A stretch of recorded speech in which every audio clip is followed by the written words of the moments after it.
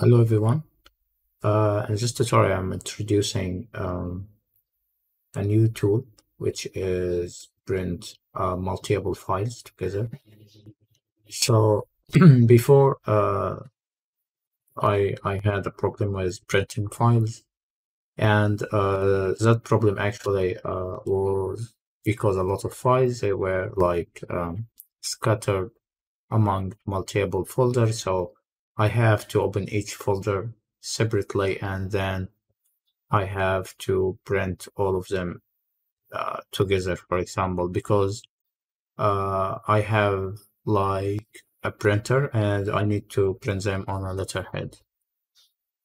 So I created just uh, a simple uh, Word print because at the beginning I was printing Word files only but later on I just uh, expanded the functionality of the program and I made it uh, capable of printing multiple files.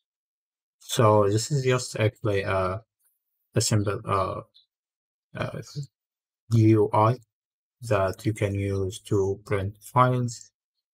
So uh, the method that I was using before, it was like right click and then use the print option.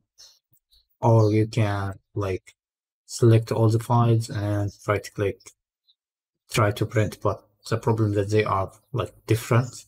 So they have different uh, types.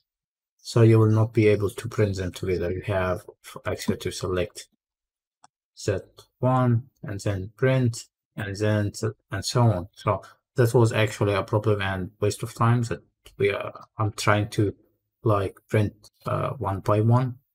And especially when they are in multiple uh, folders. So with uh, the program actually that we have you can uh, just add uh, some files that you want for example to add like this and it is gonna get all of them. So instead of just making this one by one, just print and print and so on, it will get them printing all of them.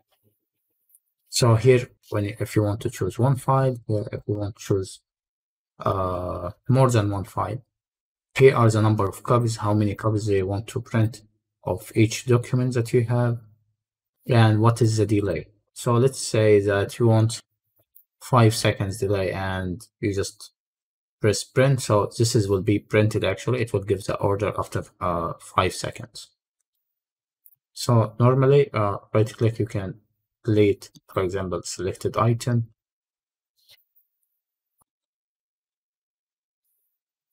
So it will open like this.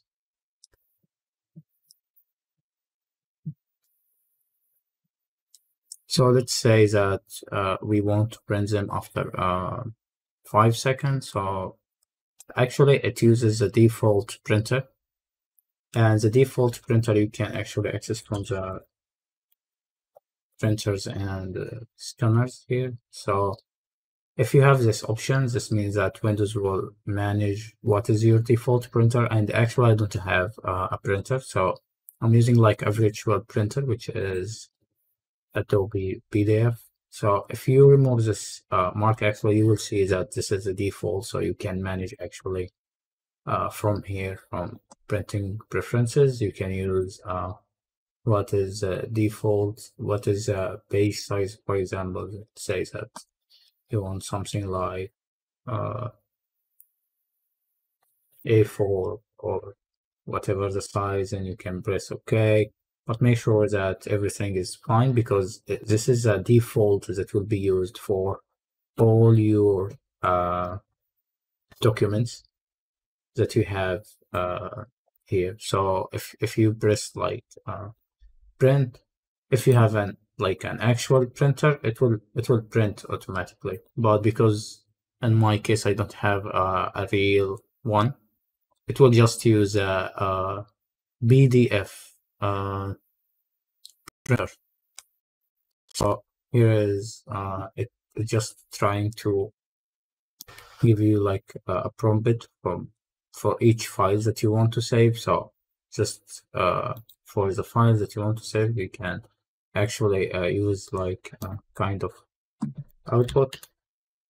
But in reality, if you have a real printer, they will be printed directly. You will not see all of these dialogues, but these dialogues because I'm using the virtual uh, printer, Adobe PDF. So it just converts any file to a PDF file. So that's it actually.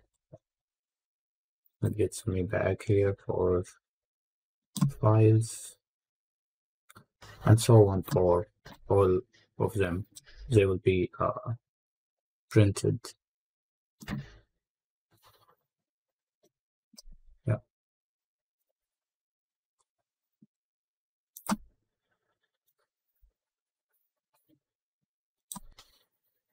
So now after printing all of them, you'll see this message that the printing is done. So you can press OK.